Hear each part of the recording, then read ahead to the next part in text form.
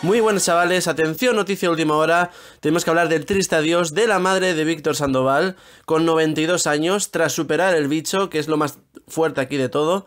Eh, tras dos meses de haber perdido también a su padre, eh, Víctor lo acaba de anunciar en redes sociales, dice que está totalmente roto, que se ha dado cuenta hasta qué punto está enmadrado y que básicamente no tiene consuelo, ¿no?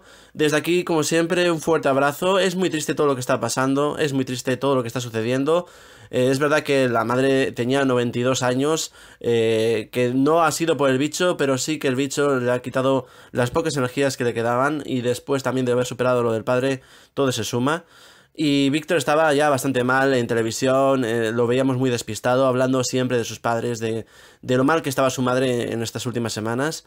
Y encima todo se agrava a que en estos días sabéis que las despedidas son más tristes porque son más solitarias y ah, no te dejan casi ni, ni despedirte en condiciones, ¿no? Eh, mucha fuerza, Víctor Sandoval, si nos ves, eh, de verdad, eh, sentimos mucho todos.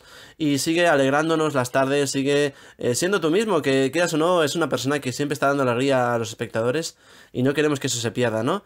Comentar, opinar, darle mensajes de ánimo a Víctor Sandoval. ya sabéis que Sálvame ahora mismo también está en el candelero por una noticia que os daré con más tiempo, pero básicamente hay un boicot de anunciantes en las redes que hace peligrar incluso Sálvame, pero eso es otro tema. Comentar, opinar, suscribirse para más noticias y nos vemos en un próximo videolog. ¡Chao!